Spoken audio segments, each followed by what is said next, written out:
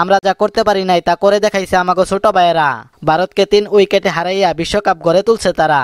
আজকের খুশির দিন তো এটা। শুধু খুশির দিন না ডবল খুশির দিন। এক হলো ভারতকে হারানোর খুশি আরেক হলো বিশ্বকাপ জয়ের খুশি। আসেন তাহলে আজকের এই খুশির দিনে সবাই মিলে। করি নাচে গানে এই জীবন গড়ি। ঠিক আছে যাও। শুরু করেন জামাই সাহেব। প্লিজ মাইরে বালাইছে রে লেঙ্কা মাইরে বালাইছে। সিনার মধ্যে তালা দিয়া লেঙ্কি পড়াইছে বাংলাদেশের ক্যাপ্টেন আকবর আলী যদি ঠান্ডা মাথায় না খেলতো তাহলে আজকে বাংলাদেশের কান্দল লাগতো। আরে পাগলা আকবর তো ম্যাচ জিতানোর জন্যই মাঠে নামছে। গোড়ার ঘাস কাটার জন্য নামে নাই তো। তাছাড়া তোদের আগেই বোঝা দরকার ছিল সম্রাট আকবর ভারতবর্ষ জয় করার জন্যই মাঠে নামবে। সঠিক বলেছেন। শেষের দিকে যখন বৃষ্টি নামছিল আমি তো মনে করছিলাম খেলা না হলে আইসিসি ভারতকে জিতাইয়া দিব। আরে পাগলা তুই যেটারে বৃষ্টি মনে করতেছস ওইটা আসলে বৃষ্টি ছিল না। ওইটা ছিল ভারতের চোখের পানি। যাই হোক আমার এখন কোনো জিএফ নাই তাতে আমার কোনো আফসোস নাই। এবারের বিশ্ব ভালোবাসা দিবস আমার আর হতাশায় কাটবে না। ভালোবাসা দিবসের আগেই আমাদের ছোট টাইগাররা আমাকে ভালোবাসার প্রতিদান দিয়া দিছে। খেলায় হার জিত থাকবেই এইটা নিয়ে এত লাফালাফি করার কি আছে? কিছুদিন আগে আমাগো নারী ক্রিকেটাররা আপনাগো সাথে এশিয়া কাপ জিতলো এইবার জোবারা বিশ্বকাপ জিতলো। সামনে আমরা যে আপনাগো কি করমু দেখতে পারবেন। মিরাজ, তোর কথা শুনে হাসমু নাকি কান্দিমু আমি তো কিছুই বুঝবার পাইতেছি না। ধনী ভাই, ও ধনী ভাই, আমি এক লাইনের একটা কবিতা বানাইছি। তাহলে শোনা তো, তোর কবিতাটা। মাঝরাতে ভারতকে একা পেয়ে খেয়ে দিল বাংলাদেশ। আরে রশিদ, তোর কবিতাটা তো সেই হইছে। আরেকটা শোনা তো। ইন্ডিয়ার হারে খুশি হয় না যে জন, কে বলে ক্রিকেট প্রেমী, বুকা সেই জন।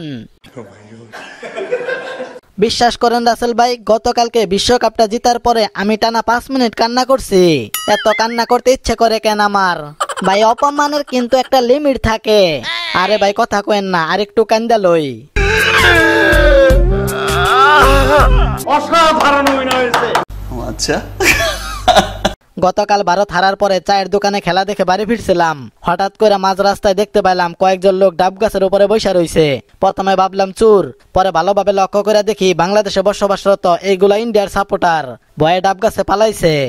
আমি তো খেলা দেখার পরে ঠিকঠাক মতো ঘুমাইতেই পারি নাই। ভাবতেছিলাম সকালে উঠে শুনব না তো বাংলাদেশ হাইরা গেছে ইন্ডিয়া জিততে গেছে। আরে ভাই বুঝেন না ইন্ডিয়া বলে তো কথা।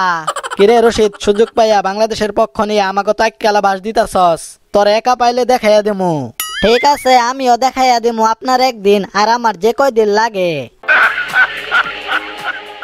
বাংলাদেশ দল আকবর আলীর মতো ঠান্ডা মাথার একজন ক্যাপ্টেন পাইছে। ওনার মতো একজন ক্যাপ্টেন বাংলাদেশে ভীষণ দরকার। শুধু আকবর আলী না এই দলের এগারো জন খেলোয়াড় পর থেকেই খুবই পরিপূর্ণ। এই দলটারে ঠিকঠাক মতো পরিচর্যা করলে একদিন বিশ্বের এক নাম্বার দল হবে এতে কোনো সন্দেহ নাই। এটা সত্য। কবে জানি শুনি পাপন নান্নুদের কবলে পরে এই দলটাও একদম শেষ হয়ে গেছে। তাও সত্য। দুঃখের বিষয় একটাই এই হেরে যাওয়া ভারতের খেলোয়াড় গুলাই একদিন বিশ্ব শাসন করবে। আর জিতে যাওয়া আকবর তামিম সাকিবরা সঠিক পরিচর্যার অভাবে হারিয়ে যাবে এইটাই সত্য। তো আজকের মতো এই পর্যন্তই। তবে শেষ করার আগে বিসিবির উদ্দেশ্যে একটা কথাই বলতে চাই। এই দলটাকে ভালোভাবে পরিচর্যা করুন।